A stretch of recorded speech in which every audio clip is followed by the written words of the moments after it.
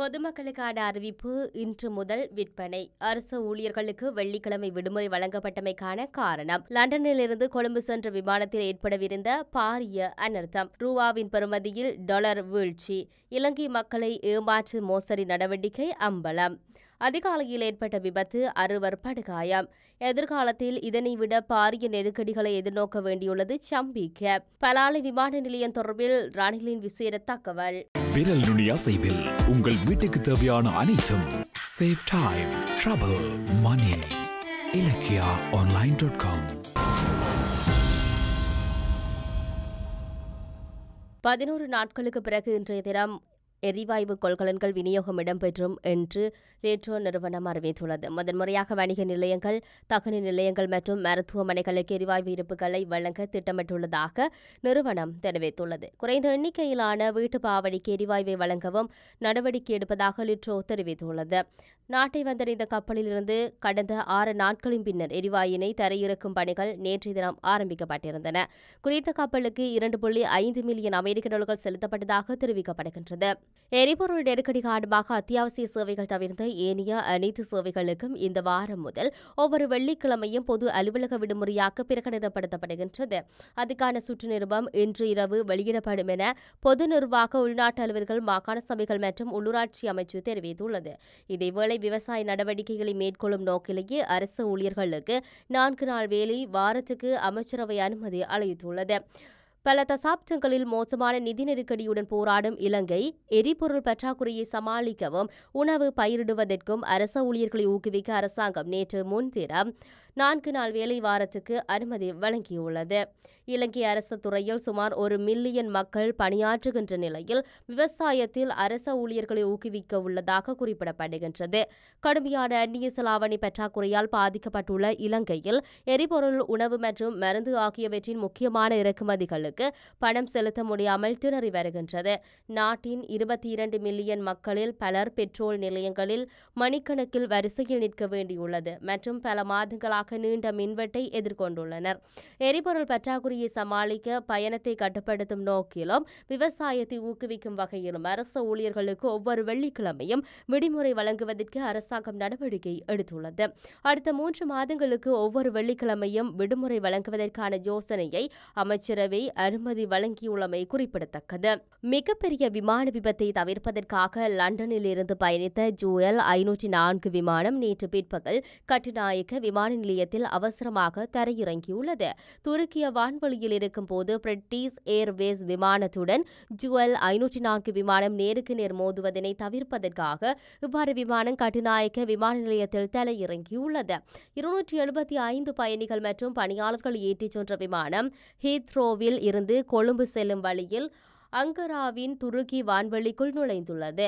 அங்கரா விமான கட்டுப்பாடு ஜுவல் ஐநூற்றி நான்கு விமானத்தின் விமானியிடம் அவர் பறந்து கொண்டிருந்த முப்பத்தி மூவாயிரம் அடியில் இருந்து முப்பத்தி ஐயாயிரம் அடிக்கு பயணிக்குமாறு தெரிவித்துள்ளது. விழிப்புடன் இருந்த ஜுவல் விமானி மற்றும் பணியாளர்கள் ஏற்கனவே பிரிட்டிஷ் ஏர்வேஸ் விமானம் ஒன்று பதினைந்து மைல் தொலைவில் முப்பத்தி ஐந்தாயிரம் அடி உயரத்தில் பறந்ததனை அவதானித்துள்ளனர். இதன்போது மேலே ஏற்கனவே ஒரு விமானம் பறப்பதாக அங்காராவில் உள்ள விமான போக்குவரத்து கட்டுப்பாட்டு பிரிவினருக்கு உடனடியாக தகவல் வழங்கப்பட்டுள்ளது. துபாய் மற்றும் சிங்கப்பூர் நோக்கி சென்ற பிரிட்டிஷ் ஏர்வேஸ் விமானம் ஜுவல் விமானம் புறப்பட்ட சிறிது நேரத்தில் ஹீத்ரோவில் இருந்து புறப்பட்டுள்ளதாக தெரிய வந்துள்ளது விமானங்களை சரிபார்த்த அங்காரா விமான போக்குவரத்து கட்டுப்பாடு ஜுவல் விமானியிடம் முப்பத்தி ஐயாயிரம் அடி உயரத்தில் எந்த விமானத்தையும் தங்கள் டேராரில் கண்டறியவில்லை என தெரிவித்த ஜூவல் விமானத்தை மேல் நோக்கி பயணிக்க அனுமதி வழங்கியுள்ளது. இதன்போது பிரிட்டிஷ் ஏர்வோஸ் விமானத்தை விமானம் டேரரில் கண்டறிந்த விமானி மீண்டும் அங்காரா விமான போக்குவரத்து கட்டுப்பாட்டுக்கு இது தொடர்பில் தகவல் வழங்கியுள்ளது. சில நிமிடங்களுக்கு பின்னரே விமான போக்குவரத்து பிரிவு தகவல் வழங்க நடவடிக்கை மேற்கொண்டுள்ளது. ஏற்கனவே முப்பத்தி ஐந்தாயிரம் அடிக்கு மேலே விமானம் ஒன்று இருப்பதனால் ஜுவல் விமானத்தை மேலே நோக்கி செலுத்த வேண்டாம் என அறிவிக்கப்பட்டுள்ளது. ஜுவல் விமானி அறிவிக்கப்பட்ட உயரத்துக்கு பறந்தால் பிரிட்டிஷ் ஏர்வேஸ் விமானத்தை விட அதிக வேகத்தில் ஜுவல் விமானம் பறந்தால் பிரிட்டிஷ் ஏர்வோஸ் விமானத்தின் மீது நேருக்கு நேர் மோதியிருக்கும் இந்த நிலையில் அவதானமாக செயற்பட்ட ஜுவல் விமானி கட்டுநாயக்க விமான நிலையத்தில் விமானத்தை பாதுகாப்பாக தரையிறங்கி பயணிகளின் உயிரை காப்பாற்றியுள்ளார். ஜுவல் ஐநூற்றி நான்கு விமானத்தில் இருந்த இருநூற்றி எழுபத்தி ஐந்து பயணிகள் அதன் பணியாளர்கள் மற்றும் பிரிட்டிஷ் ஏர்வேஸ் விமானத்தில் இருந்த பயணிகள் மற்றும் அதன் பணியாளர்களின் உயிர்களை ஜுவல் ஐநூற்றி நான்கு விமானத்தின் தலைமை விமானியின் விழிப்புணர்வு மற்றும் வலுவான முடிவு காரணமாக காப்பாற்றப்பட்டதாக செய்திகள் வெளியாகியுள்ளது. இந்த நிலையில் இந்த சம்பவம் தொடர்பில் உடனடி விசாரணைகள் ஆரம்பிக்குமாறு உத்தரவிடப்பட்டுள்ளது. இலங்கை நாணயமான ரூபாவின் பெறுமதி தொடர்ச்சியாக வீழ்ச்சியுற்றுக் கொண்டிருப்பதாக மத்திய வங்கியின் அறிக்கை தெரிவிக்கின்றது. கடந்த ஜனவரி தொடக்கம் ஜூன் இரண்டாம் வாரம் வரையான காலப்பகுதிக்குள் ரூபாவின் பெறுமதி நாற்பத்தி நான்கு புள்ளி மூன்று வீதத்தினால் பாரிய வீழ்ச்சியை எதிர்கொண்டுள்ளது.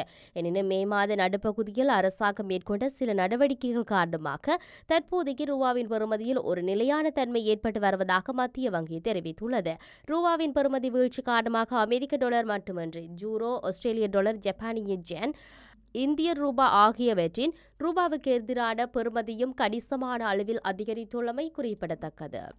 தலதா மாளிகையின் பெயரை பயன்படுத்தி பணம் கொள்ளையடிக்கும் நடவடிக்கை ஒன்று நாட்டில் முன்னெடுக்கப்பட்டு வருவதாக எச்சரிக்கப்பட்டுள்ளது. இந்த நடவடிக்கைக்கும் தலதா மாளிகைக்கும் எவ்வித தொடர்புகள் இல்லை என ஸ்ரீ தலதா மாளிகையின் தியவனட நிலமே பிரதீப் நிலங்கத்தில தெரிவித்துள்ளார். தலதா மாளிகையை அமைக்கும் போது அதற்கு மேல் பூஜை நடத்தும் நடவடிக்கை ஆரம்ப காலம் முதலே முன்னெடுக்கப்படுகின்றமை ஒரு மரபு நடவடிக்கையாகும். எனினும் புதிய பூஜைகள் என கூறி தலதா மாளிகை மற்றும் அதற்கு சமமான பெயரை பயன்படுத்தி மக்களிடம் பணம் கொள்ளையடிக்கும் நடவடிக்கை இடம்பெற்று வருகின்றது. இதனால் மக்கள் அவதானமாக இருக்க வேண்டும் என பொதுமக்களிடம் கேட்டுக்கொள்ளப்பட்டுள்ளது. யாராவது தலதா மாளிகையின் பெயரை பயன்படுத்தி கதைத்தால் அவர்களுடனான பேச்சை தவிர்க்குமாறு பொதுமக்களிடம் கேட்டுக்கொள்ளப்பட்டுள்ளது.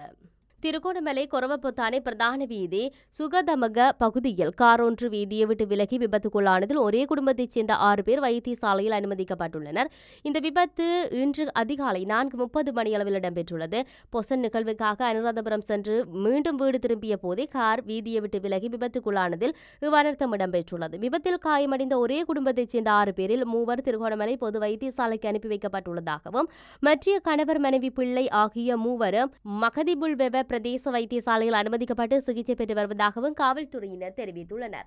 விபத்து தொடர்பிலான விசாரணைகளை மேற்கொண்டு வருவதாக கொரவப்பத்தானை காவல்துறையினர் தெரிவித்துள்ளனர். நாடாளுமன்ற உறுப்பினர் டலஸ் அழகு பெருமை உள்ளிட்டோர் அரசாங்கத்திலிருந்து விலகி ராஜபக்ஷ குடும்பத்தின் ஆதிக்கமற்ற பயணத்தை ஆரம்பித்துள்ளமையானது. அரசியலிலும் ஜனநாயகத்திலும் தென்பட்டுள்ள சிறந்த அறிகுறியாகும் என்று நாடாளுமன்ற உறுப்பினர் சம்பிக்கிரணவுக்கு தெரிவித்துள்ளார். இருபத்தி ஓராவது அரசியலமைப்பு திருத்தத்தில் தேர்தல்கள் ஆணைக்குழுவின் அதிகாரம் தேர்தல் முறைமைகளில் மேற்கொள்ளப்பட வேண்டிய திருத்தம் தொடர்பான யோசனைகளை கையளிப்பதற்காக தொடர்பாக தேர்தல் ஆணைக்குழுவுக்கு சென்றபோது செய்தியாளர்களிடம் பேசிய போதே அவர் இவ்வாறு குறிப்பிட்டுள்ளார். நாட்டுக்கு புதிய அரசியல் சக்தி ஒன்றின் தேவை உணரப்பட்டுள்ளது. அதற்கு நாமும் தயார் நாடும் தயார். குறிப்பாக நாட்டின் இளம் தலைமுறையினர் அதற்கு தயாராக உள்ளனர். அதற்கு உதவ வேண்டும் அல்லவா? கட்சிகளுடன் இணைந்து அன்றி பொது கொள்கையில் அடிப்படையின் வேலை திட்டங்களில் ஊடாக வங்குரோந்துள்ள இந்த நாட்டை கட்டியெழுப்ப வேண்டும். அதற்கு தொழிற்சங்க ரீதியிலான தலையீட்டை நாடு கோரியுள்ளது. அதேபோன்று இளைஞர்களும் தற்போதுள்ள அரசியல் கலாச்சாரத்தில் மாற்றத்தை கோரியுள்ளனர்.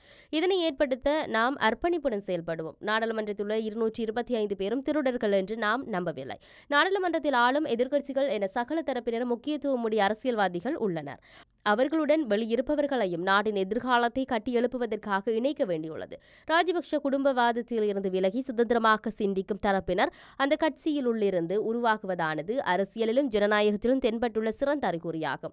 அது ஆளுங்கட்சியினாலும் எதிர்க்கட்சியினாலும் குடும்பம் ஒன்றின் ஆதிக்கமின்றி உருவாகுவது சிறந்ததாகும். தற்போதுள்ளது சர்வத கட்சி அரசாங்கமும் அல்ல. இடைக்கால அரசாங்கம் அல்ல பழைய அதிகாரிகளே உள்ளனர். அவ்வாறன்றி தொழில்துறை நிபுணர்களுக்கு வாய்ப்பளித்து நாட்டை கட்டியெழுப்ப வேண்டும். எதிர்காலத்தில் இதனை விட பாரிய நெருக்கடிகளை எதிர்கொள்ள வேண்டியுள்ளது. எனினும் நாம் அமைதியாக இருக்கப் போவதில்லை. ஜூலை மாதம் முதல் வாரத்தில் சர்வதேச நாணய நிதியத்தின் ஊழியர் மட்ட இணக்கப்பாட்டை எட்ட முடியும். எனினும் அதன் ஊடாக அது எந்தவித பிரச்சனைகளுக்கும் தீர்வு காண முடியாது.